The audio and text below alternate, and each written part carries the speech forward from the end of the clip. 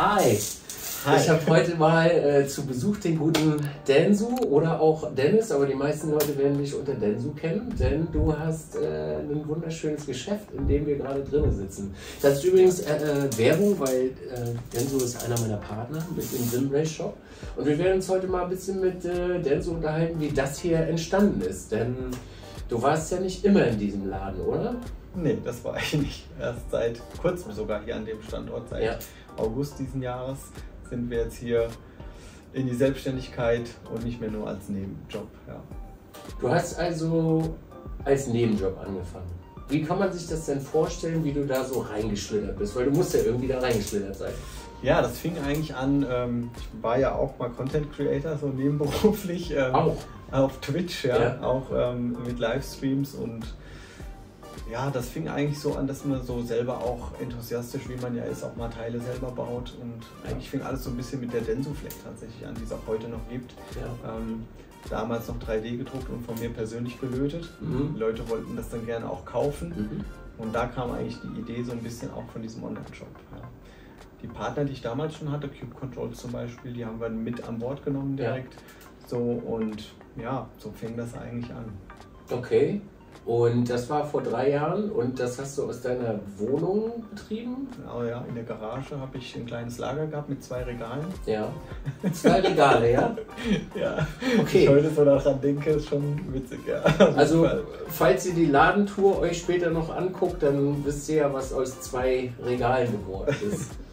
Ähm, wie bist du denn von da auf äh, an weitergegangen? Also wenn du jetzt deine eigenen Produkte gemacht hast, wie bist du denn vorgegangen, dass du gesagt hast, okay, machen wir jetzt einfach größer oder was war die Idee dahinter? Also im Prinzip war es so, dass die Nachfrage auch relativ groß war mhm. ähm, und ich wollte auch Produkte anbieten, die jetzt sonst eigentlich in Deutschland gar nicht so gut verfügbar waren. So, das war nachher auch die Intention zu sagen, hey, wir wollen auch das irgendwie komplett anbieten. Dass wenn man sagt, okay, ich kaufe jetzt hier irgendwie ein Lenkrad, wo kriege ich dann ein Quick Release dazu, muss ich das in dem Shop und das in dem Shop bestellen und ich wollte so mein Ansatz war immer, ich wollte das so ein bisschen zusammenführen, dass man sagt, okay, ich kaufe jetzt das Lenkrad und die Wheelbase oder das Quick Release in einem Shop und nicht bei drei verschiedenen Shops. Ja. So.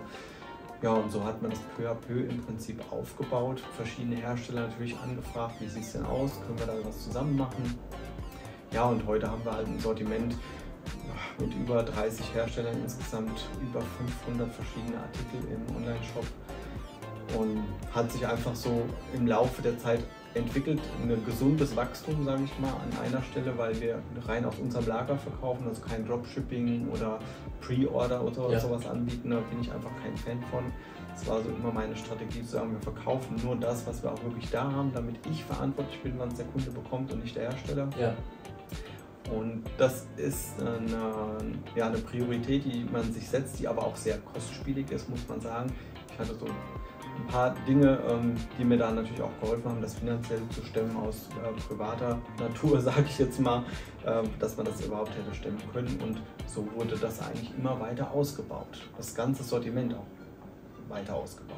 Wenn wir jetzt mal ganz weit zurückspulen, Du hast ja, was war denn dein eigentlicher Job, aus dem du mal gekommen bist? Weil du bist ja nicht, hast ja nicht schon immer das hier gemacht. Ja, also das ist ja bei dir auch sehr interessant. Ich bin gelernter Bürokaufmann, mhm.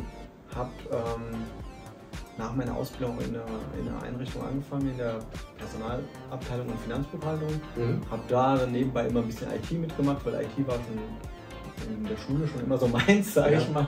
Auf LAN-Partys wurde ich immer eingeladen, um das Netzwerk zu machen. okay.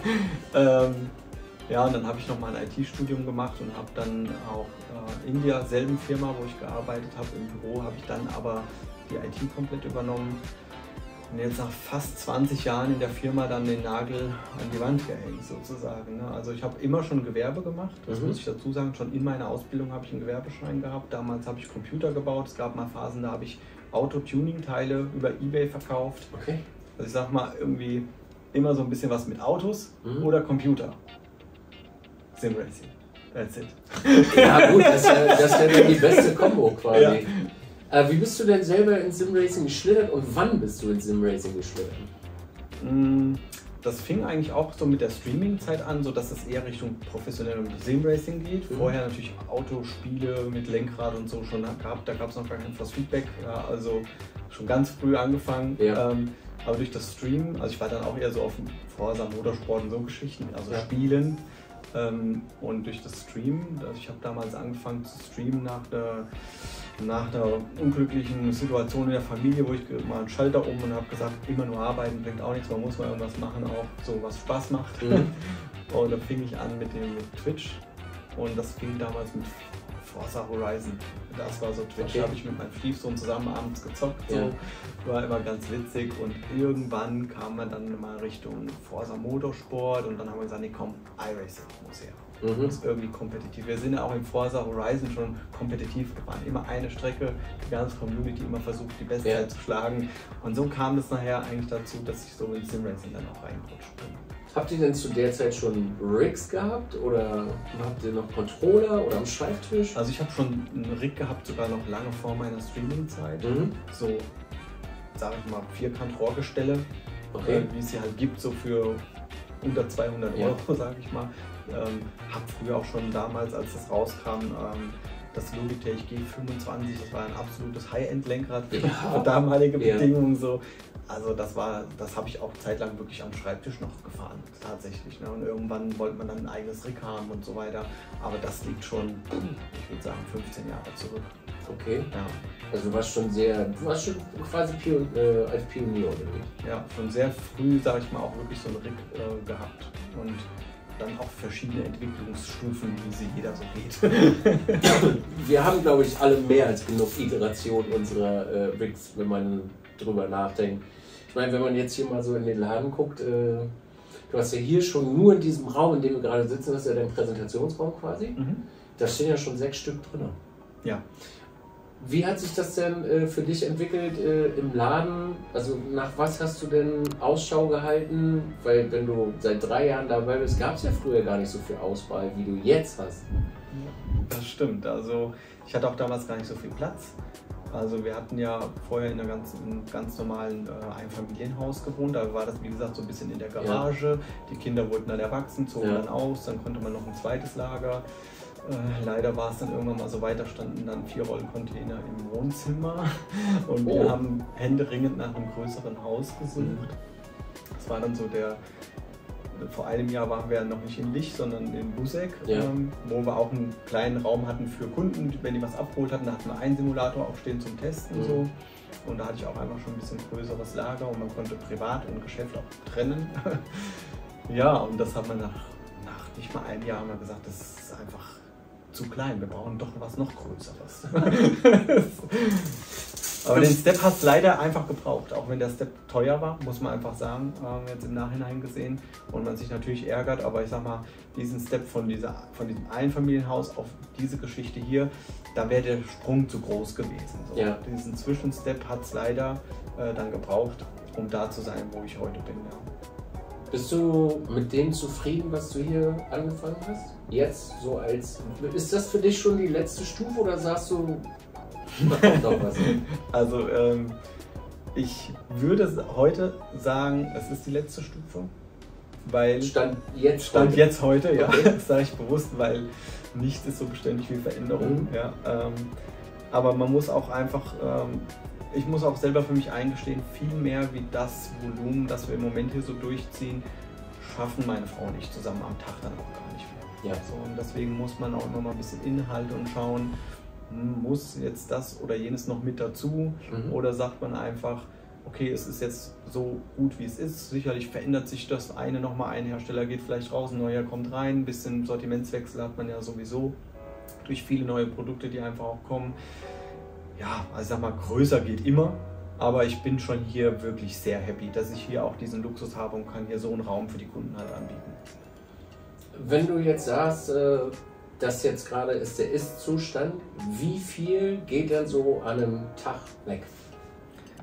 Ähm, an Volumen, so sag ich mal, wir haben so im Schnitt so 30 bis 50 Bestellungen, je nachdem. Am Tag? Am Tag, ja. Also es ist mal auch kleiner, man merkt, wenn Monatswechsel ist, dann muss man auch klar ja. sagen, ähm, das hängt auch viel an Verfügbarkeit. Mhm. Ne, das ist eigentlich auch ein limitierender Faktor, weil, wie vorhin schon gesagt, verkaufen wir nur ab Lager und nicht irgendwie auf Vorbestellung. Und wenn wir jetzt eine Palette VHS-Pedale reinbekommen, dann sind die meistens am selben Tag auch weg und dann hat es einfach viel mit Verfügbarkeit zu tun. Ja. ja. Ähm, was ist denn so am Black Friday weggegangen? Ich meine, wir haben jetzt den 30. 11.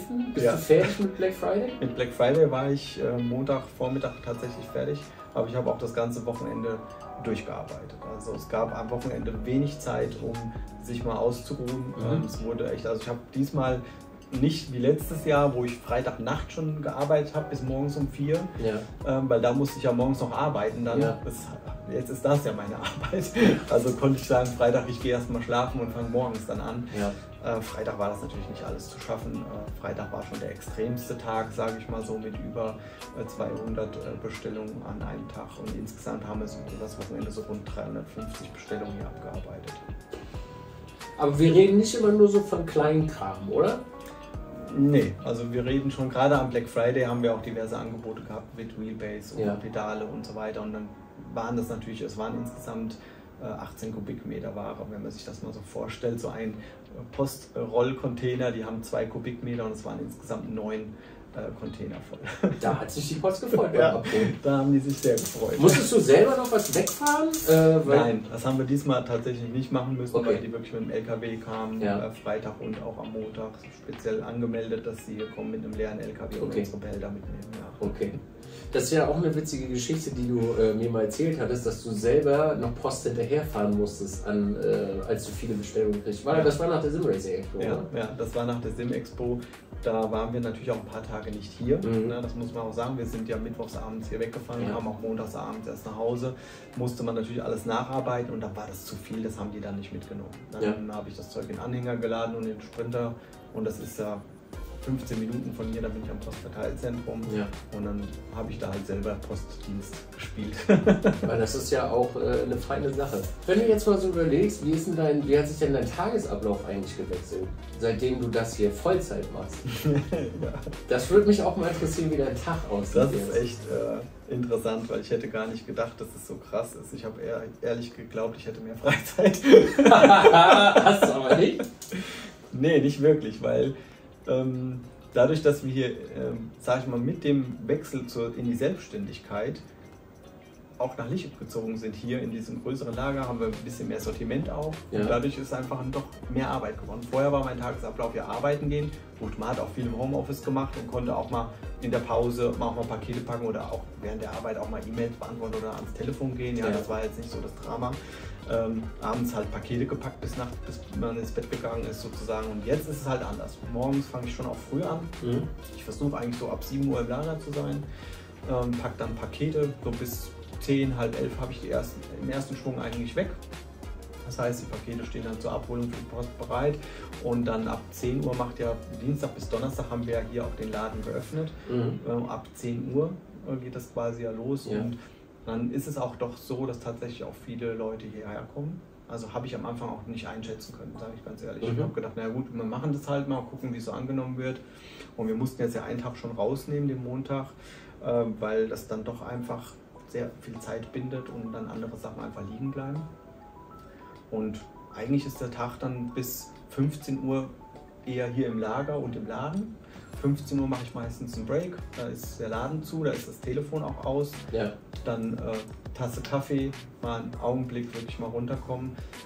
Ja, und dann geht es eigentlich am PC, E-Mails, gucken, was ist äh, zu beantworten, was ist im Discord los. Ja. Und ja, dann abends fange ich dann meistens nochmal an. Also meistens machen wir dann auch nochmal einen Break, so mal Abendessen, mhm. vielleicht mal ein Stündchen wirklich auf die Couch, wenn es Zeit zulässt. Ja. Dann abends dann eigentlich nach dem Abendessen bin ich auch meistens noch hier im Büro am PC und mache halt E-Mails. Weil Anfragen ist schon, das ist schon ein Großteil äh, der Arbeit ist natürlich auch Anfragen beantworten. Ist nicht immer nur das reine Pakete packen, das ist halt der körperlich schwer, schwerste Teil, so Waren und Abnahme. Ähm, aber E-Mails beantworten ist auch schon ähm, zeitintensiv und das mache ich tagsüber fast nicht, weil da bin ich halt im Lager, ja. dann gucke ich da auch selten einfach in mein E-Mail-Postfach, muss ich schon sagen. Aber du antwortest bis dato noch auf alle E-Mails? Ja. Ich sag mal ja. Sorry, wenn irgendjemand anderer mal kann vielleicht auch mal was untergehen. Also ich sag mal, das Problem ist die Vielfalt der Kontaktmöglichkeiten. Ja, ja. So hat man am Anfang vielleicht auch nicht so drüber nachgedacht. Heute ist Discord PNs ganz schwierig Mhm. Wenn du 50 verschiedene PNs am Tag kriegst, nach vier Tagen findest du das nie mehr wieder. Kann ich übrigens bestätigen, geht mir auch so. Manchmal schreibe ich ein Fläre. Aber das auch nicht will. Dann haben wir Ticketsystem, dann ja. haben wir WhatsApp und E-Mail. Ja. Das biete ich alles an. Ja, und da muss man jetzt irgendwie mal gucken, wie man das langfristig irgendwie auf einen Kanal geschleust kriegt, weil manchmal verliert man auch einen Überblick, muss ich sagen. Dann weiß ja. ich noch, okay, irgendein Kunde wollte das und das noch wissen. Mhm. Dann suche ich das raus, wo war es denn? Und ich finde es einfach nicht mehr. Ja. Weil es vielleicht im Discord war und da findet man sowieso nie mehr wieder was. Das ist leider so. Ich finde auf meinem eigenen auch nie was wieder. Das ist äh, einfach schlimm. Ja. Also, also am liebsten ist mir immer E-Mail, weil Suchprogramm im E-Mail ist funktioniert wenigstens. Wollte ich gerade sagen, da du wenigstens alles auf einen Haufen. Ja. Wenn du jetzt mal äh, so deine aktuelle Kopflage beschreiben würdest, was ist denn da so alles drin? Ist der Rammel voll? Also mein Kopf ist schon ziemlich voll, was, was das Geschäft angeht. Mhm. Muss ich wirklich sagen. Und man muss auch erstmal, ich muss auch an mir selber ein bisschen arbeiten, dass man auch irgendwann mal wirklich Feierabend kriegt. Weil das finde ich jetzt, gerade jetzt so in den ersten zwei, drei Monaten, war das überhaupt nicht möglich, mal nicht ans Geschäft zu denken. Ja, weil es waren natürlich noch viele Dinge auch äh, zu tun vor- und Nachbereitung von dem ganzen Umzug, die ganze Publikation, äh, Werbung platzieren, Banner beschriften und und und. Und tausende Dinge mit Herstellern. Dann hatten wir die ganzen Messen. Wir hatten ja sonst nie eine Messe besucht. Es mhm. waren dieses Jahr vier Messeauftritte. Wir haben vorher noch nie sowas gemacht. Und jetzt gerade zum im Oktober dann auf der ADAC Sim Racing Expo. Also Wahnsinn. Da war ich ja wirklich absolut geflasht, was da abgeht. Mhm. Und das muss man auch erstmal alles verarbeiten. So die ganzen Eindrücke, auch viele Hersteller, die dann auf uns zugekommen sind, auch. Und man muss auch immer Entscheidungen treffen. Ja. Man muss viele Entscheidungen treffen an, an so einem Tag und gerade nach so einer Messe muss man auch viele Entscheidungen treffen. Und ich tue mich immer schwer mit Ablehnung sage ich, wie es ist. Ich bin einfach immer so, äh, versuche immer irgendwie allen möglichen Menschen das Leben leichter zu machen. Oder, ja. Und da habe ich doch gemerkt, da kommt man auch mal an seine Grenzen. Und man sagt, okay, man muss auch einfach jetzt mal Nein sagen können, weil sonst bin ich nämlich wieder an dem Punkt, dass das Lager wieder zu klein wäre. Und nochmal umziehen wird im Moment schwierig. Im, Im, Moment, ja. Aber vielleicht ist es ja nächstes Jahr soweit. Ich, ich wünsche es mir nicht sagen wir so. Wir haben jetzt in zwei Jahren diese zwei Umzüge gemacht und ja. ich, irgendwann muss man auch mal ankommen, sagen wir mal so. Ja, aber wenn du jetzt mal so überlegst, also wenn wir beide kurz mal so philosophieren über die Zeit, wenn wir mal an 2020 denken, ich habe 2019 angefangen und wir jetzt mal gucken, was wir für eine Vielfalt an Angebot haben. Wenn du jetzt mal nur hinter, also hinter euch jetzt, da hinten ist das Lager, wenn du mal überlegst, was da jetzt drin ist, bist du dir wirklich sicher, dass das nicht größer wird? sicher kann man sich nie sein, aber ich wünsche es mir, dass es hier bleibt. Ich meine, ich würde es dir wünschen, aber vielleicht kannst du ja vorne die Parkplätze wegmachen und noch eine Halle anbauen. Das habe ich schon überlegt. Siehst du? Ich bin, ich bin hier raufgefahren und dachte mir so, warte mal, das Auto kann noch da stehen, das kann noch da stehen, da passt doch noch locker was hin. Passen noch ungefähr sieben Meter Halle ran, naja, habe ich schon mal geguckt. Aber ich finde es wirklich interessant, also da ich ja heute das erste Mal hier bin und mir das ansehen kann, dass man hinter dieser Tür in dem Lager, dass da wirklich nur Simracing-Zeug ist. Ja. Überleg mal, als, also du hast ja noch früher angefangen als ich. Als ich damals gefahren bin, gab es drei, vielleicht vier Anbieter. Ja, das ist schon schön, wie viel. Ich finde es schön, dass sich so viel entwickelt hat. Ja. Weil dadurch sind auch die ein, eingesessenen Hersteller gezwungen, Fortschritt zu entwickeln ja. und nicht stehen zu bleiben. Und das finde ich hat der Branche und auch den Simracern selbst echt Gutes getan, weil wir super viele Produkte haben, die auch einfach unglaublich hohes äh, Level an Niveau haben. Super geile Funktionen, was alles in den letzten zwei, drei Jahren auf den Markt gekommen ist, ist Wahnsinn. Natürlich kann nicht jeder Hersteller überleben, dafür ist der Markt einfach nicht groß genug. Ja. Es sind natürlich auch sehr viele Hersteller in den letzten Jahren an den Markt gegangen. Aber es hat sich dadurch einfach sehr viel auch weiterentwickelt. Ja. Und das behaupte ich jetzt einfach mal, wäre vermutlich ohne Corona nicht passiert. Nee, das glaube ich ja. nicht. Nee. Also Corona hat das wirklich schon auf ein sehr großes Level gehoben. Weil wir die Situation hatten, dass echter Motorsport plötzlich virtuell ausgetragen ja. wurde. Und das gab so bei vielen einfach ein Umdenken. Mhm. Ne, weil vorher wurde das vielleicht von dem einen oder anderen eher belächelt. ja, die sitzen da in ihrem Stuhl und spielen da Autorennspiele. Ja. Und es ist einfach viel präsenter geworden, auch in den allgemeinen Medien viel präsenter geworden als, Ja. noch, vor, als noch vor Corona. Und das hat natürlich auch das Ganze beflügelt, dass überhaupt dann so viele Hersteller am Markt kamen, dass auf einmal Bedarf, mehr Bedarf einfach da war, Mhm. anstatt nur die drei, vier Hersteller, die es vielleicht vorher gab. Hat das für dich auch Konsequenzen gehabt? Gut, ich bin ja gestartet in 2020. Ne? Also es gab für mich kein Vor-Corona, was das Business angeht. Also würdest du jetzt sagen, für dich selber, ohne dass man jetzt sagt, dass die Pandemie gut war, für dich hat sich das, äh, also für deinen Geschäftszweig war es schön, dass es da war oder zumindest ist es äh, nett, dass die Leute Interesse gefunden haben? Ich sag mal, insgesamt hat es der ganzen Simracing-Branche als auch den Anwendern am Ende was gebracht, weil es einfach mehr Produktvielfalt gibt und einfach super viel Entwicklung in dieser kurzen Zeit stattgefunden hat. Ja. Und ich sag mal, ohne dass, also klar ist immer äh, ein bisschen unschön, wenn man sagt, Coronavirus hat irgendwie was Tolles gebracht. Ja. Ja, das ist natürlich, äh, hört sich natürlich super mies an. So. Das ist ja, Corona ist natürlich nicht gut, aber es hat Simracing verändert und das kann keiner sagen, dass es nicht so wäre, weil halt einfach Simracing viel präsenter ist, als es noch vor Corona war. Ja. Und das hat der ganzen Branche geholfen. Ob's jetzt, ob ich jetzt heute da wäre ohne Corona, wo ich jetzt bin, ich sag mal nein, weil wir so viele, so viele Produkte gar nicht hätten und auch Ja. nicht so viele interessierte Enthusiasten. Ich meine, wir müssen ja schon von Enthusiasten sprechen. Äh, mit der Hardware, die wir jetzt so vertreiben, das sind ja auch alles High-End-Produkte im Prinzip für Simracer, die wirklich auch das Hobby schon längerfristig betreiben und Ja. nicht sagen, ich will mir das jetzt mal anschauen. Und ich sag mal, ohne diese Präsenz von Simracing insgesamt wären so viele Hersteller heute gar nicht am Markt. Würde ich jetzt mal behaupten. Nee. Und es kommen ja immer mehr. Ja, das, Das hört ja nicht auf. Ja. Nee, das ist völlig verrückt, oder? Ja. Also, wenn man jetzt mal überlegt, wie du ja auch schon äh, sagtest, äh, dass die VHS-Pedale waren ja bei dir wirklich dauerhaft ausverkauft. Ja. So, und wenn wir jetzt mal jetzt gerade just in dem Moment darüber nachdenken, dass wir mindestens schon wieder zwei bis drei Hersteller haben, die nochmal neue Pedale hinterher schieben, Ja. das ist echt verrückt, oder? Ja, das ist ein Wahnsinn. Also der Markt ist aber auch an Herstellern auch irgendwann gesättigt. Trotzdem tut es dem Markt gut, dass neue Produkte Ja. kommen, weil andere Hersteller auch mal wieder andere Ideen haben. Kopiehersteller brauchen wir heute keine mehr. Nee. Ich meine, man muss natürlich auch sagen, vom Look und so weiter her, Heusingfeld war das Pedal damals. Ja. Ja. Und heute hast du halt dann äh, VRS, dann gab es noch äh, VJ Sim Racing, es gab noch DC-Pedale. Ja.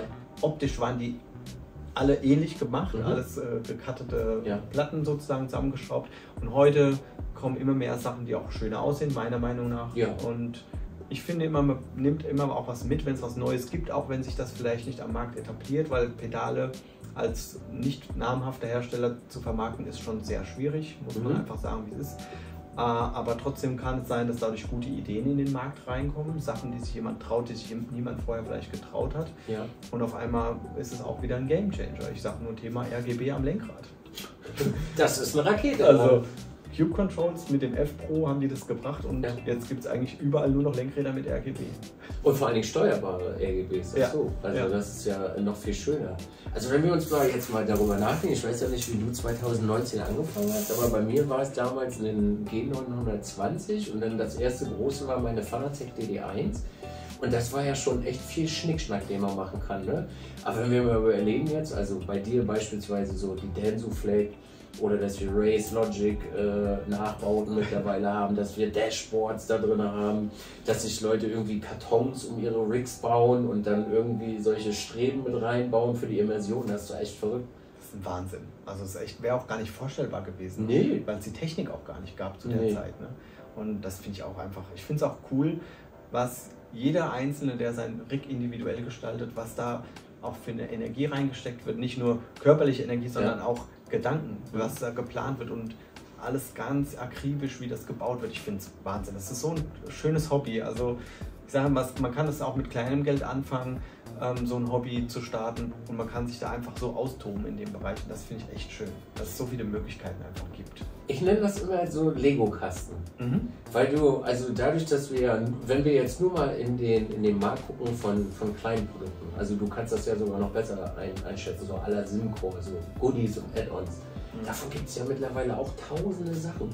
Und dann überleg mal, was mit 3D-Druckern mittlerweile alles noch passiert, was man sich alles 3D drucken kann ja. und was die Leute da alles draus bauen, ist einfach. Ja, es war schön zu sehen. Also mir macht das echt eine Freude zu sehen, wie viel Energie die Leute reinstecken, ja. um das so zu haben, wie sie es haben wollen. Ne? Also auch wenn sich einer eine Aluplatte dahin legt, einen Feuerlöscher drauf. Ja. Man braucht es natürlich da nicht. Nee. Aber es ist auch einfach ein Wahnsinn, wie geil das aussieht. Definitiv. Also nur wenn wir jetzt mal nur, äh, weil das ja hier gerade in dem drin ist, die Bezel, äh, die Bezel Kits, dass du halt mittlerweile halt solche Bildschirme hast. Ja, ja. ja. Und das einfach so eine riesige Fläche ist. Aber wo wir jetzt davon äh, so, so sprechen und schwärmen, ist ja eigentlich Hardware mittlerweile über oder freust du dich noch genauso wie früher darüber? Also ich freue mich wenn was Neues kommt, genauso wie, wie jeder äh, Kunde von mir. Ja, auf jeden Fall. Du hast ja auch viel also zum Ausprobieren. Äh, du probierst sie ja selber auch aus, ja. damit die deinen Qualitätsstandards äh, entsprechen. Ja. Also ich freue mich natürlich auf neue Produkte genauso. Muss mhm. ich echt sagen, ich mein, an meinem Simulator habe ich gerade das AMG-Lenkrad, das ist ja auch erst ein paar Wochen am Markt. Ja. Und ich freue mich ja wie ein kleines Kind, wenn neue Sachen kommen und pack die gleich aus, um anzuschauen. Ja. Ähm, und ich probiere natürlich auch aus, das ist klar. Also ich probiere nicht alle Produkte auf Langzeit. Das, das würde gar nicht gehen, dafür haben wir zu viele Produkte. Ja. Aber ich gucke zumindest, dass ich die Kernprodukte von, wenn wir einen neuen Hersteller mit reinnehmen, zum mhm. Beispiel SimMagic jetzt seit kurzem, ja. dann baue ich mir erstmal ein Rig nur mit SimMagic, also Pedale, Base, Lenkrad. Und dann fahre ich damit auch erstmal eine Weile, um zu gucken, okay, was geht, was geht vielleicht nicht, was kann ich dem Kunden, der mich anruft und hat eine Frage, vielleicht erklären, wie was geht. Mhm. Weil ich muss es wenigstens selber einmal aufgebaut haben. Ja. Weil sonst wird es natürlich super schwierig ja, wenn einer anruft und sagt, ja, wie schraube ich in die Wheelbase an? Und ich sage, ja, guck doch in der Bedienungsanleitung. Das ist, das ist aber auch was Besonderes, oder? Also empfindest du das selber als besonders, dass du dieses ganze Hintergrundwissen dir auch noch aneignest, dass du den Leuten helfen kannst? Ich sag mal, ich sehe mich als Fachhändler. Mhm. Als Fachhändler für Simracing-Bedarf. Ja. Und ich bin der Meinung, ein Fachhändler sollte vom Fach sein. Und er sollte wissen, was für Produkte er vertreibt. Man kann nicht alles wissen, mhm. ganz klar. Also es gibt auch Spezialfälle, gerade wenn es um Kompatibilitäten geht ja. und Umbauten und das damit verbinden und so weiter, da kann ich nicht alle Konstellationen testen. Das ja. geht, ist einfach die Masse, das macht es gar nicht möglich, alles zu testen. Aber ich bin einfach, für mich ist es so, als Fachhändler gehe ich eigentlich davon aus, dass man sich auch auskennt mit den Produkten, die man verkauft. Und mhm. deshalb setze ich das schon mir auch als Maßstab, dass ich das auch bieten will. Ja. Was ich übrigens sehr schön finde. Also selbst äh, ich, ich finde das immer sehr interessant. Also äh, unsere Partnerschaft ist ja, dass ich Sachen reviewen darf und du stellst sie mir zur Verfügung. Dass bevor ich es überhaupt ausgepackt habe, du eigentlich schon so eine Liste hast, ja, das wird er bestimmt gleich fragen und dann kommt so Copy-Paste, äh, kommt die Sache dann schon, schon raus wie beim AMG-Lenkrad, was ich selber rausfinden wollte und dann äh, schrieb Dan zu mir, drück mal den Knopf, dann ist das alles schon gemacht. Und du sitzt und fummelst und tust und Dan nimmt sie halt schon ab, weil du hast die Produkte ja an manchen Stellen schon immer mal ein bisschen früher zum Angucken. Ja, ja. Ja. Also auch nicht immer, mhm. aber bei manchen Herstellern schon. Also bei manchen Herstellern haben die Reviewer eher die Produkte als wir als den. Ja. ja also ich sag mal, die neuen äh, Buttonplates von Cube Controls, ich habe noch keine gehabt. okay. Ich habe mal eine hier gehabt, aber nur kurz, weil die waren mal bei uns zu Besuch ja. äh, und hatten dann einen Koffer voll äh, Sachen mit. Ja. Schon schöne Sachen, muss man sagen. Ich mhm. finde es dann, dann auch, ich bin dann nicht nur der Kaufmann, der dann sagt, okay, was ist das EK, VK, wo ja. sondern ich nehme dann das Lenkrad in die Hand und sage, geil. also du hast da schon noch richtig Freude. Ja, ja, auf jeden Fall. Doch. Okay. Das flacht echt nicht ab. Hätte ich auch gedacht, dass wenn man es so lange vielleicht macht, dass man so äh, den Enthusiasmus da rein verliert, aber nee, überhaupt nicht. Ich muss wirklich gestehen, also ich habe echt schon viel in der Hand gehabt, aber hier drinnen ist man auch so ein bisschen glücklich, oder? Das, man, man sitzt nur hier drinnen, also man weiß, es gehört einem eigentlich nicht. Also ich jetzt für meinen Teil, aber es macht mich doch glücklich, hier zu sitzen. Das ist doch schön. Ja, weil hier so viel Schnickschnack ist, den man anfassen kann und ausprobieren kann, dass man sagt, ja, eigentlich könnte man hier auch einziehen. Ja, also das war auch genauso meine Idee, dass man Sachen halt hier testen kann. Mhm. Weil das ist oft so, wenn man die Möglichkeit nicht hat, die Sachen zu testen und man kann sie nur mal anschauen im Web irgendwie mit äh, Bilder anschauen oder man guckt sich Reviews natürlich an, aber selber testen ist immer noch mal was anderes. Und das war von Anfang an meine Idee. Als wir die erste Besichtigung hatten, wusste ich genau, dass das dieser Raum dafür hier wird. Ja. Ich war früher in der Fahrschule drin in diesem Raum. Und ich habe gesagt, das wird auch sowas ähnliches, nur halt ein bisschen, ein bisschen schneller gemacht. Nee, und für mich ist halt einfach die Vielfalt wichtig, dass wir sagen, okay, wir haben hier Simocube, wir haben eine SimMagic, wir haben eine VRS, wir haben auch verschiedenste Pedale. Natürlich wollen wir es auch ein bisschen als Sim-Center nutzen, so dass die Leute auch hierher kommen können und können das als Erlebnis Simracing buchen mhm. und hier auch fahren sozusagen. Betrifft eher Leute, die sowas nicht zu Hause stehen haben, ganz klar. Ja. Ähm, aber wir haben halt dann keine Einheitssimulatoren, dass alle gleich sind. Die sind halt alle unterschiedlich. Ne? Ja. Das ist so immer, wo ich manchmal so denke, ah, vielleicht wäre das eine dafür besser, das andere dafür. Aber die Vielfalt finde ich einfach spannend. Ja. ja. Also wo wir jetzt gerade von dem Ausprobieren gesprochen haben und du hier drinnen ja schon eine Menge gebaut hast, baust du immer noch gerne? Ja. Auch noch? Ja, also ich baue echt gerne, weil dann auch immer mal wieder Ideen kommen, auch noch mal was anderes zu machen. Mhm. Wir machen ja auch, natürlich super selten, aber ich biete ja auch so Ready-to-Race-Simulatoren an, wo Computer, Bildschirme, alles fix und fertig konfiguriert und aufgebaut, geliefert wird. So ja. quasi Stecker rein, Powerknopf und es geht los. Okay. Ähm, was mich am meisten nervt beim Bauen ist, weil das wird vielleicht die nächste Frage sein, Sitzschienen.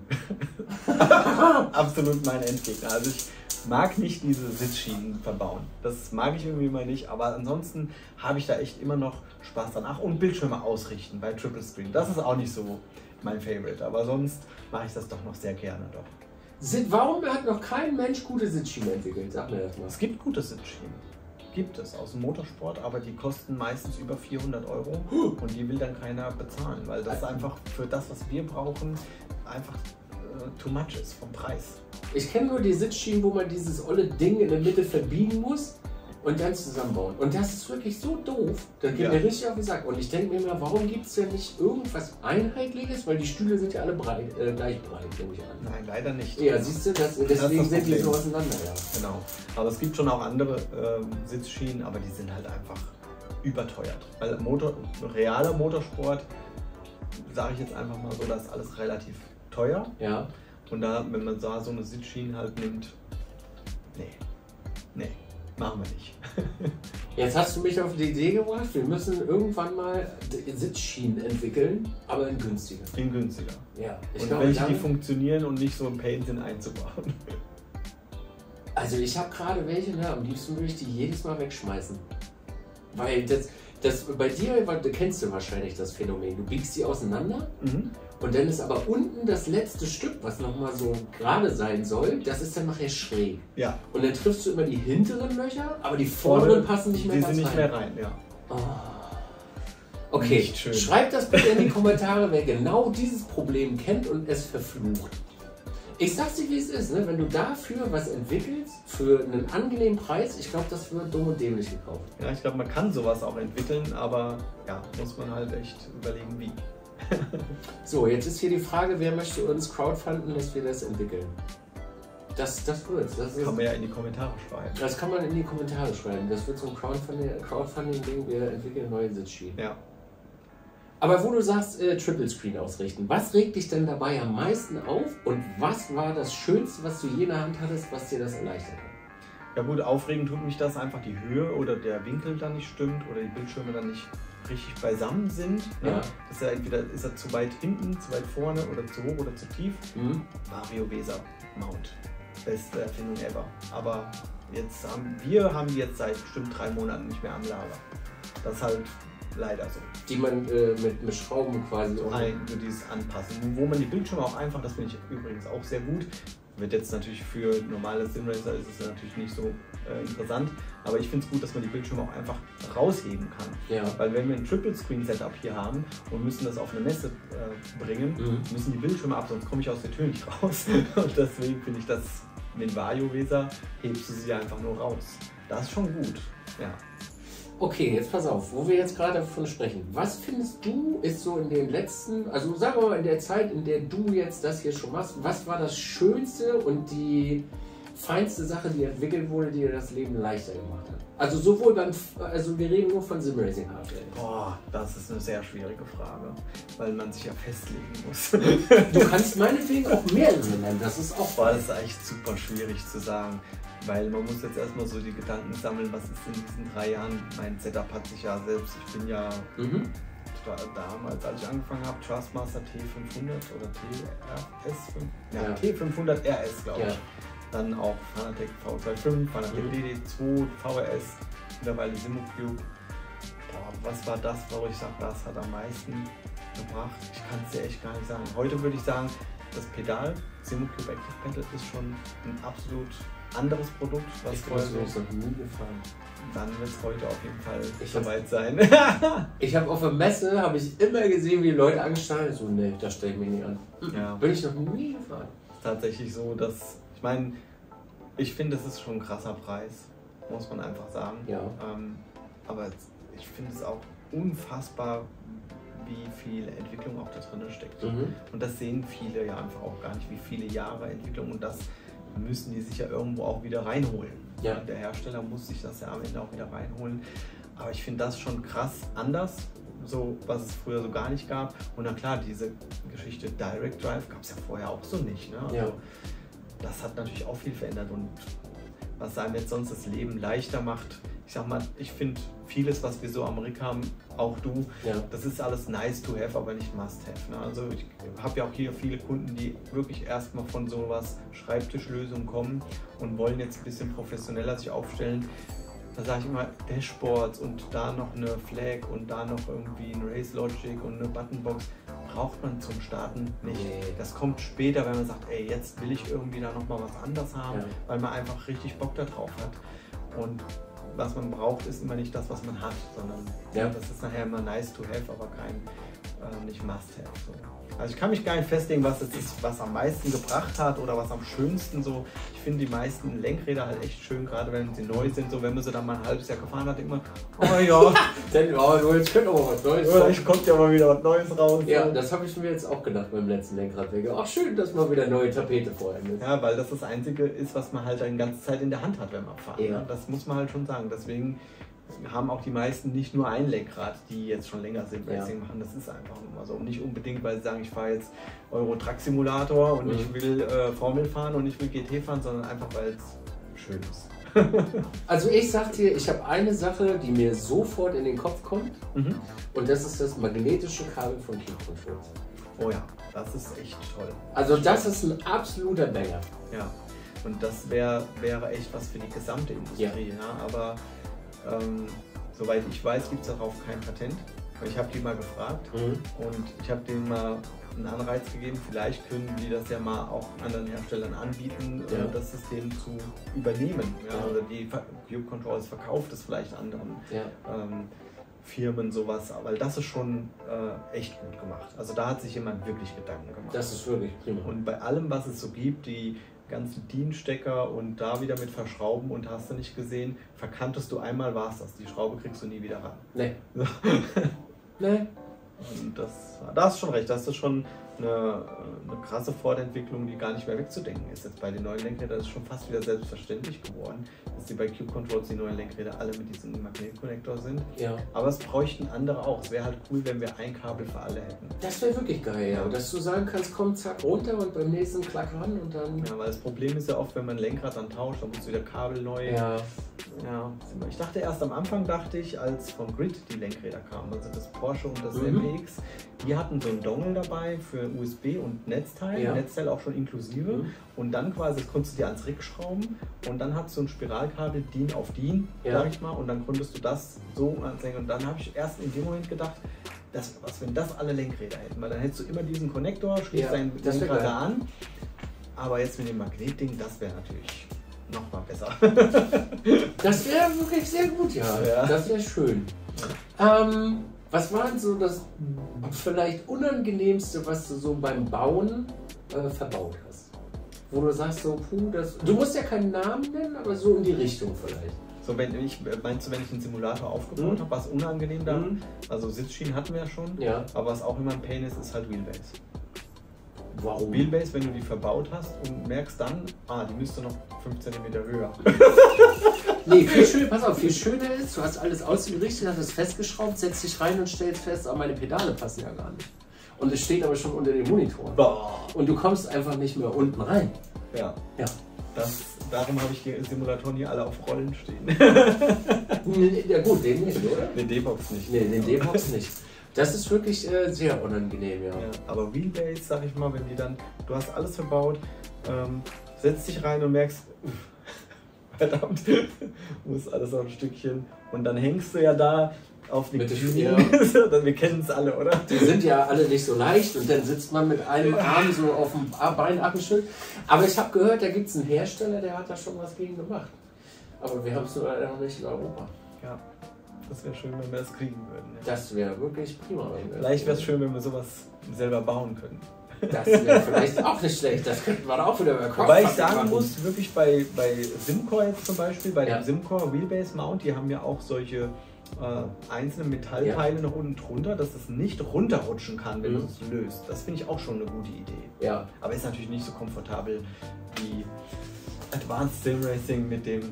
Das ist schon geil, ne? Als ich das gesehen habe, habe ich mich wirklich gefreut. Ich habe es ich auf der Messe gesehen und ich habe es nicht gefunden, über ein Jahr lang nicht. Mhm. Und dann kam bei mir ein Zuschauer, kam rein und sagt, ey, Dizzy, das ist hier äh, Advanced Sim Racing, guck da mal rein. Ich geguckt, der hat es gefunden. Ich gucke so Kanada. Nein!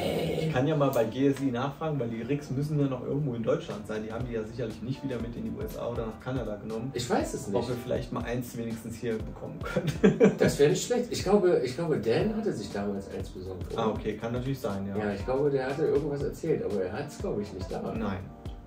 Nein. Nee, müsste ich jetzt auch nicht. Da müsste man wirklich mal nachfragen und mal nachforschen, wie das dann funktioniert. Weil ich, ich stelle mir das so schön vor. Ne? Ja. Klack, nach vorne Ich sag mal, klack. irgendwo ist es natürlich eine Entwicklungssache. Wir kriegen ja jetzt auch mittlerweile am Markt ein bisschen Bewegung in die Aluprofilsysteme rein. Die machen ja. jetzt halt schräge Vertikalprofile, das kann ich überhaupt nicht nachvollziehen, aber sieht vielleicht ein bisschen schicker, schnittiger aus, kann man halt schlecht was dran montieren. Ähm, Farbe ist ein Riesenthema, aber dieses, genau dieses Thema mit Verstellbarkeit, ja. Also da muss halt was her, was auch bezahlbar ist, weil es gibt vollmodulare Systeme, elektrisch gesteuert, die sind aber so teuer wie ein Kleinwagen. Ja. Das kann sich jetzt kein normaler Simracer leisten. Das ist eher was für, für den gewerblichen Bedarf, wenn das vermietet wird ja. oder sonstiges. Aber sowas in der Richtung müsste man, müsste man echt mal haben. Das wäre eine Veränderung bei den Rigs. Ja. Aber Pedale wäre auch schön. So ja, aber auch, weißt du, es gibt ja diese Pedalschlitten, wo du auch diesen Zug hast und dann. Ja, das, das sind die gleichen wie die Seatslider. Das ist ja auch nicht so schön, aber das von Advanced Sim, äh, nee, Advanced Sim Racing und das unten für die Pedale auch. Ja. So richtig, dass du so schöne Slider Ja, es muss halt dann auch fix sein. Das ist der Nachteil bei, wenn du Seatslider für die Pedale verbaust dass du dann doch auch ein bisschen Spiel ja, genau. hast. Und das ist für unsere Low-Cell-Pedale natürlich tödlich. Ja. Also da brauchen wir gar nicht drüber reden. Das Bin ich absolut kein Fan von. Nee. Ähm, und deswegen gibt es zum Beispiel bei uns auch nicht. Weil Track, ist, wir haben ja Track als mhm. Rig-Anbieter und die haben eigentlich diese Platte mit dem Slider. Ja. Ich habe gesagt, ich will nur die Platte haben. Ich brauche den Slider nicht, ja. weil ich will das so nicht verkaufen, weil mhm. das in meinen Augen nicht taugt. Und deswegen gibt es das bei mir auch so nicht. Da gibt es nur die Platte. Ich habe da noch so Abstandshalter dazu, weil wenn du Pedale auf die Platte schraubst, hast du unten die Mutter. Ja. Kannst du nicht direkt aufs Profil. Und deshalb habe ich dann solche Abstandshalter einfach äh, bestellt bei einem bei anderen Hersteller und ja. verkaufen das dann halt so ohne diesen Slider. Weil mit Slider und Load Cell also, das ist halt immer Bewegung. Also ne? stell dir vor, du müsstest pro Simulator 2 so eine Slider bauen. Nee. V2. Von Sitz und Ach so, genau. ja, Ach so, ja, stimmt. Das ist, dasselbe, das ist genau dasselbe Produkt, ja. Ja, ja, klar. ja ist genau so aufgebaut. Und dann, nee, das alleine dieser Pain ist es mir nicht wert. Guck mal, wir haben jetzt schon in diesem Gespräch drei Sachen gefunden, die wir einfach für euch entwickeln können. Wir brauchen nur eure Hilfe dafür. Ja. Wir brauchen eigentlich nur einen Ingenieur, der das entwickelt und wir brauchen eine Firma, die es baut. Ja. Und dann sind wir Ver drin. Vertreiben tun wir es dann, das ist kein genau. Problem. Und dann ist euer Leben noch einfacher, als es eigentlich schon ist, weil wir haben alle genau dieselben Sorgen. Ja, ich glaube auch. Ich glaube, das sind die Sorgen, mit denen eigentlich alle Simracer, die was verändern, kämpfen. Veränderung ist immer das Problem. Du kaufst ein neues Lenkrad, ja. dann ist da eine Narbe schon dran, mm. die du nicht abschrauben kannst. Mm. Was machen die? Aber gut, ist so. Dann, was machst du? Du musst deine Wheelbase weiter zurückbauen. Da fängst du schon an. Die Wheelbase weiter zurück, musst du wieder vielleicht mit einem Kabelmanagement gucken. Kabelmanagement! Brauchen wir gar nicht anfangen, ist ein separates Video, glaube ich. ja, da können wir jetzt drei Stunden. Ich meine, du hast super Kabelmanagement. Ja, ja, hier, also absolut. Ja. Definitiv. Na gut, das ist ja eh eine Baustelle, das lohnt gar nicht. Ja. Nee. Aber Kabelmanagement kannst du auch einfach nicht einfacher machen. Nee. Aber es gibt mittlerweile gibt's so richtig schöne Tunnel dafür, die du dir an, an, an den Dings machen kannst, in die Nut rein. Das ist ja. schon schön. Das ist schon gut, aber auch das, also für Kabelmanagement, äh, ich sag mal, da kann man verschiedenes probieren. Sobald man was verändert am Rig, und das machen wir ja leider oft, Ja, dann fängt das ganze Thema wieder von vorne an. das stimmt, ja. Aber darüber könntest du jetzt auch. Ist dir schon mal aufgefallen, dass man über solche Sachen stundenlang sezieren kann, wenn man so mit jemandem sitzt, der davon, der, der genau dieselben Probleme hat? Ja, das ist doch auch schön auch zu wissen, dass man nicht der Einzige ist, dass Ja. man nicht alleine ist mit dem Problem. Das ist so, je mehr Hardware man sich anguckt, desto mehr versteht man, warum andere Menschen sich darüber aufregen. Ja, Oder diese kleinen Schrauben, wo man aber nicht rankommt. ja, Oder diese sinnlosen kleinen Schrauben, die nicht in Stern sind, sondern wirklich in, in Imbus und du kriegst sie nicht auf. Solche Sachen. da siehst du noch nicht mal, ob das Imbus oder Stern ist, so klein sind die. Ja. Oder dass man am Rig irgendwann mal ein Aluprofil verschieben möchte und sich die Nutsteine so hart verkantet haben, dass du das Aluprofil nicht mehr bewegen kannst. Und wenn du es bewegen kannst, dann ist es nicht mehr schwarz, sondern dann ist nur noch ein silberner Riss drin. Oh, es ist alles das. Wir haben alle dieselben Probleme. Ja, absolut. Und das ist auch völlig egal, in welcher Sparte wir uns da bewegen. Das also auch, von ja. klein bis groß, jeder hat dieselben Probleme. Ja. Hm. Was ist für dich so das Fazit nach, äh, nach unserem, unserem Gespräch? War das für dich auch ein bisschen reflektierend, dass du sagen kannst, wow, das waren schöne drei Jahre? Also auf jeden Fall ist immer so ein Gespräch, finde ich immer für mich, äh, das ist für mich immer ein bisschen Anspannung. Mhm. Hatte ich dir auch eingangs schon gesagt. Ich Ja. bin in so einer Situation immer ein bisschen angespannt. Ähm, warum, kann ich gar nicht so richtig erklären, weil ich bin ja eigentlich, ich rede ja eigentlich gern und äh, ich rede ja auch einfach frei raus so. Aber es, über manche Dinge, über die ich mir so im Alltag keine Gedanken mehr mache, weil es für mich selbstverständlich ist, die andere vielleicht gar nicht als selbstverständlich sehen. Das zeigt mir so ein Gespräch dann doch immer, dass man, okay, das ist gar nicht so selbstverständlich, das ist schon gut, was du dort machst, so, ne? Und ja, also ich bin echt froh, dass du hierher gekommen bist. Kann ich nur sagen, Dankeschön, dass du hier bist. Danke für die Einladung. ähm, natürlich auch danke für dieses äh, Video, für dieses Gespräch. Hat mich echt sehr gefreut. Das machen wir übrigens nächstes Jahr nochmal. Und dann unterhalten wir uns über den neuen Seatslider, den wir rausmachen. genau. Ihr wisst Bescheid, schreibt es in die Kommentare. Wir wollen einen neuen Seatslider haben. Und das Kabelmanagement und verschiebbare Wheelbase. Ja, Und dann perfekt. sehen wir uns quasi in einem Jahr wieder. Heute ist der 30.11., das heißt, äh, am 30.11.2024 sitzen wir an derselben Stelle. Ist dann sogar am Freitag, guck mal. Das ist sogar am Freitag. Ja. Und dann hängen draußen noch sieben Meter extra Sieben Meter. Okay. Wir, wir, wir nehmen das jetzt beim Wort. Ich sag Tschüss. Und wir Dankeschön. sehen uns in 2024 wieder. Alles klar, bis dann.